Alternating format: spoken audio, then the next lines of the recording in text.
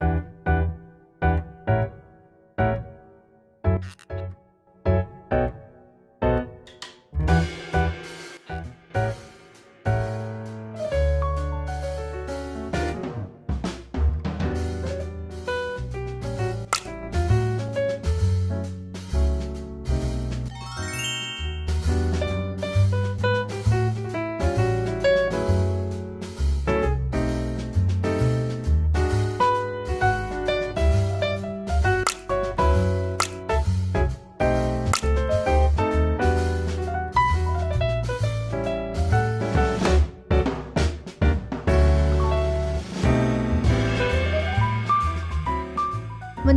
จะมาแต่งตาให้ดูกันแบบในคลิปนะคะ ว่ามีวิธีการแต่งตายังไงกันบ้าง ความพิเศษของการแต่งตาในวันนี้นะคะ เราจะติดขนตาแบบช่อทั้งบนและล่างค่ะ การติดขนตาแบบช่อนะคะ มันก็จะยากกว่าขนตาที่เป็นแผงนะทุกคน แต่พอติดเสร็จนะคะ มันก็จะได้ฟิลไปอีกแบบหนึ่งค่ะจะเริ่มการแต่งตานะคะ วันนี้จะใช้ Eyeshadow Collection ใหม่ของ Super Mom ค่ะ ที่คอลแลบกับ Missy P นะคะ เป็นการ collab ที่น่ารักมากเลยนะคะ กับ packaging ของเขา palette นี้นะคะหลอดว่าเหมาะสำหรับช่วงเทศกาลคริสต์มาสแล้วก็เทศกาลปีใหม่นะคะ ที่กำลังจะมาถึง ดึงซองกระดาษออกมานะคะ หน้าตรง packaging ก็จะแตกต่างกันแล้ว จะมีน้องหมีขาวมาต้อนรับเรานะคะ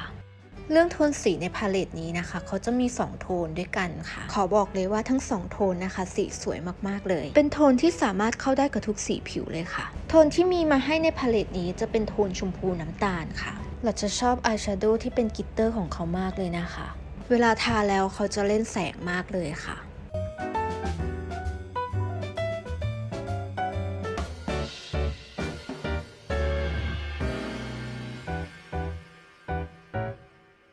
palette นี้มีสีปัดแก้มถึง 2 โทนนะคะ เขามีโทนนูดชมพูและก็โทนส้มอิฐค่ะ สีปัดแก้มคือดีมากค่ะทุกคน มาถึงการแต่งตากันค่ะ ใช้สีอายแชโดว์ช่องที่ 3 นะคะทายทั่วทั้งเปลือกตาค่ะ แล้วก็ใต้ตาล่างนะคะ เป็นการแต่งตาที่ง่ายที่สุดแล้วค่ะ ใช้แปรงเกลี่ยสีไปเรื่อยๆนะคะเพื่อให้สีอายแชโดว์อ่อนลง เวลาแต่งตาเราจะต้องเบามือมากๆค่ะ ถ้าเราอยากให้มันเข้มขึ้นเราก็ค่อยๆเติมเท่านั้นเองนะคะทุกคน ใช้สีน้ำตาลนะคะ มาทาบริเวณตรงรอยพับของชั้นตาค่ะ และก็จะไล่ลงมาถึงใต้ตาล่างเลยนะคะ เราจะสร้าง layer ให้กับตาของเรา เพื่อให้มันมีการไล่ระดับของเฉดสี จากโทนน้ำตาลไล่ไปโทนชมพูนะคะ แล้วก็จะใช้แปรงตัวแรกนะคะมาเกลี่ยอายแชโดว์ค่ะ เพื่อให้เฉดสีของอายแชโดว์มันดู smooth ขึ้นนะคะ ใช้อายแชโดว์สีน้ำตาลเข้มขึ้นมา1เฉดมาเขียนตรงขอบตาล่างนะคะ จะเริ่มจากการเขียนตรงหัวตา เขียนตามแนวขนตาค่ะ เราจะไม่เขียนเข้าไปถึงขอบตานะคะ แล้วก็จะเว้นตรงรอยเชื่อมระหว่างตาบนตาล่างค่ะ จะสร้าง dolly eye นะคะสำหรับคนที่ไม่มี dolly ก็สามารถใช้ตัวอายแชโดว์สีน้ำตาลตัวเดิม เอามาเขียนได้นะคะ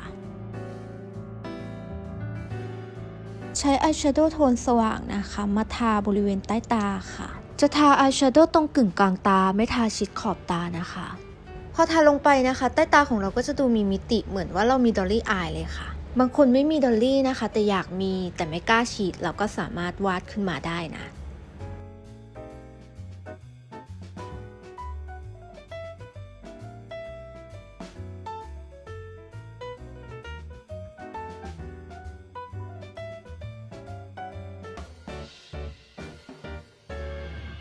ตะ glitter นะคะ ที่เป็นสีออกแชมเปญเอามาทาบริเวณกึ่งกลางตาค่ะพอทาลงไปบนเปลือกตานะคะ ก็จะเห็นความเป็นประกายของ glitter ค่ะ เวลาโดนแสงโดนไฟนะคะ ก็จะเล่นแสงสุดๆไปเลยค่ะ สวยมากเลย มันทำให้ตาของเราดูมีเสน่ห์ขึ้นนะคะทุกคน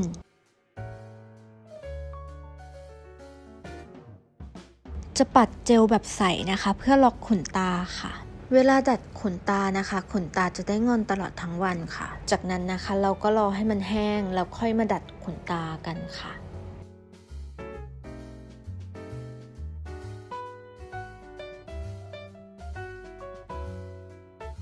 พอดัดขนตาเสร็จนะคะ เราก็จะเห็นว่าขนตาเราก็จับตัวเป็นช่อเล็กๆนะคะ แล้วก็ยังเห็นขนตาที่มันแหว่งไปด้วยค่ะ มาถึงการติดขนตาแล้วนะคะ เราจะติดตรงใต้ฐานตาจริงนะทุกคนเดี๋ยวเรามาดูวิธีการติดกันเลยค่ะ วันนี้นะคะจะใช้ 2 ขนาดก็คือ 11 มิลแล้วก็ 7 มิลค่ะ อุปกรณ์ในการติดขนตานะคะ เราก็จะใช้แหนบเท่านั้นเองค่ะ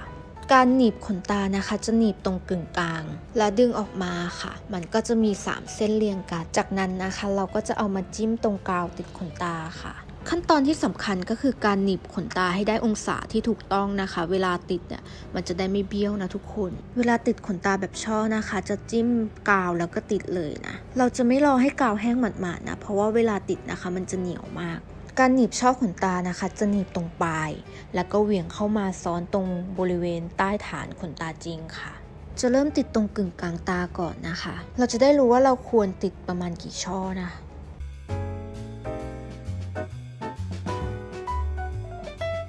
สังเกตเวลาติดขนตานะคะ หลอดจะเวียงขนตา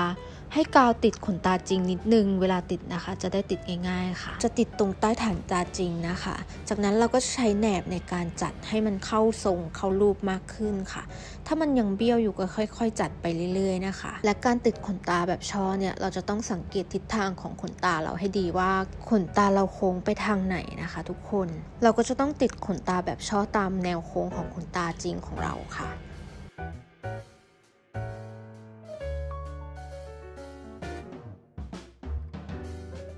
ติดขนาด 11 มิลเสร็จนะคะ เราก็จะมาติดขนาด 7 มิลต่อค่ะ จะแซมตรงบริเวณหัวตานะคะ เพราะว่าหัวตาจะต้องสั้นกว่าตรงหางตา จะติดแบบสั้นสลับยาวนะคะทุกคน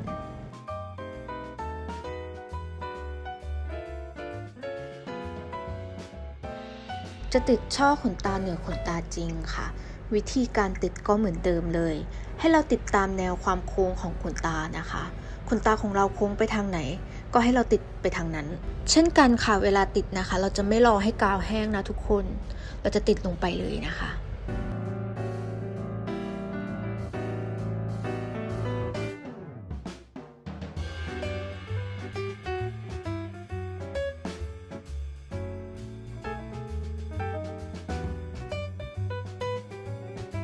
จะเก็บรายละเอียดของการแต่งตานะคะ ก็จะสร้างดอลลี่อายขึ้นมาใหม่อีกรอบค่ะทุกคน จากนั้นนะคะก็อย่าลืมปัดมาสคาร่าเบาๆนะ จะปัดมาสคาร่าแค่ขนตาบนเท่านั้นนะคะ เสร็จแล้วสำหรับการแต่งตาในลุคนี้นะคะ ตาก็จะมีความกลมโตขึ้นมาดูหวานละมุนขึ้นเหมือนตาตุ๊กตานะคะทุกคน ปัดแก้มโดยใช้สีชมพูนูดค่ะปัดตรงช่วงหน้าแก้มนะคะ วิธีการปัดหน้าแก้มเราจะยิ้มขึ้นมาก่อน จากนั้นก็ปัดลงไปตรงแก้มลูกส้มค่ะ จะปัดตรงสันจมูกด้วยนะคะ เพื่อทำให้ผิวดูอมชมพูสุขภาพดีค่ะ ปัดเสร็จผิวก็มีความชมพูระเรื่อระเรื่อนะคะ ใช้อายแชโดว์สีน้ำตาลมา shading จมูกค่ะ จะเริ่ม shading ตั้งแต่ช่วงหัวคิ้วลงมาค่ะ shading ลงมาจนถึงช่วงปลายจมูกเลยนะคะเราจะเน้น shading ตรงปลายจมูกหนักนิดนึงค่ะ คนที่อยากให้ปลายจมูกดูเรียวเล็กนะคะ ใช้วิธีการ shading แบบในคลิปได้นะ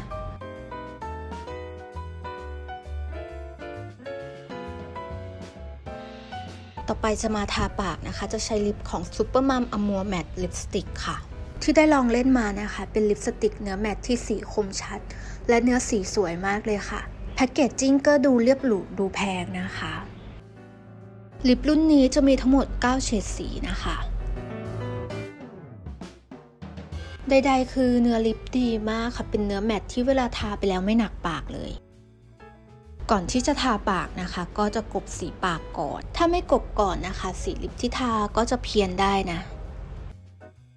จะใช้สีที่สี What About You นะคะ ทาให้ทั่วทั้งปากเลยค่ะ จะแทบแทบลิปสติกลงไปนะคะ จากนั้นก็จะใช้มือเกี่ยค่ะ เพื่อเป็นการเบอร์สีปาก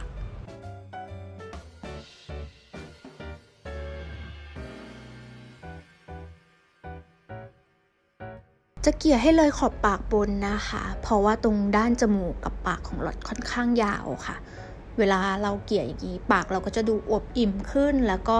หน้าก็จะได้ balance ขึ้นค่ะ ใครไม่ถนัดการใช้มือนะคะ เราก็สามารถใช้แปรงหรือว่าใช้ cotton bud ช่วยได้นะ เกลี่ยไปเรื่อยๆนะคะ สีปากก็จะดู smooth ขึ้นมาแล้วค่ะ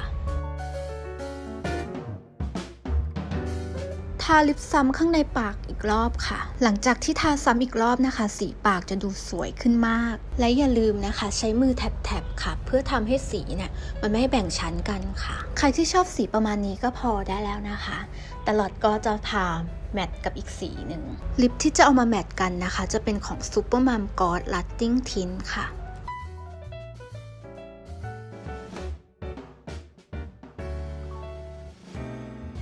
Supermom Gloss Lasting Tint นะคะ มีทั้งหมด 9 เฉด เป็น lip เนื้อ gloss ที่มีความติดทนนานเหมือน tint นะคะทุกคน ระหว่างวันนะคะ เราไม่ต้องไปเติมสีปากบ่อยๆ เลยค่ะ lip รุ่น Gloss Lasting Tint ตัวนี้นะคะ เนื้อ lip จะมีความฉ่ำวาวค่ะ เหมือนเนื้อเจลลี่เลย เนื้อ lip จะมีความเบาสบายปากนะคะ ไม่เหนียวเหนอะหนะค่ะแต่สีก็สวยมากๆเลยนะคะ ทุกคน สีที่ทานะคะจะเป็นสี GT01 ค่ะ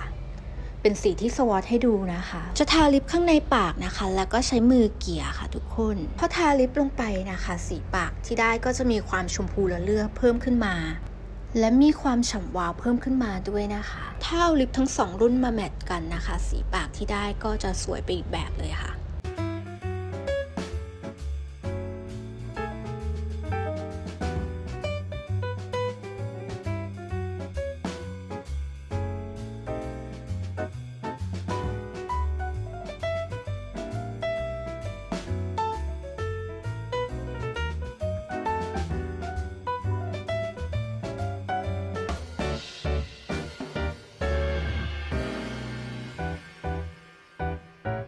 ไลท์หน้าโดยการใช้ตัว glitter นะคะใน palette นี้ เอามาไฮไลท์ตรงบริเวณกระจับปากบนนะคะ เพื่อเพิ่มมิติให้กับปากของเรา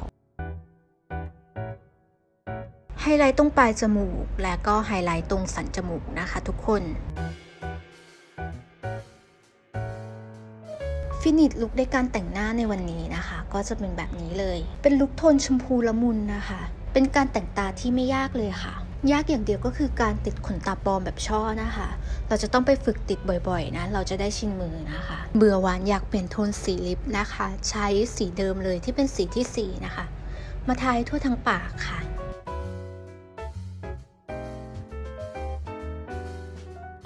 ปัดแก้มโดยใช้ที่ปัดแก้มสีโทนส้มอิดนะคะ มาปัด โทนส้มอิดจะมีความละมุนไปอีกแบบนะคะ สวยไม่แพ้กับโทนชมพูเลย อยู่ที่ว่าเราชอบโทนสีแบบไหนนะคะทุกคน เสร็จแล้วสำหรับการแต่งหน้าในลุคนี้ค่ะ